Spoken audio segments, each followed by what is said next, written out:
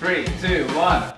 Vets Hub presents Prosper, an interview series where we talk to remarkable veterans and military families about their life after service. You know, I went from being a soldier um, to being a civilian. I think the biggest shock to the system was the cost of living. It's a very much a hurry up and wait process. There's there's so many options out there, um, but I think sometimes we, we settle when we when we leave. Listen to stories, gather insights, and connect with fellow veterans. Join the Vets Hub community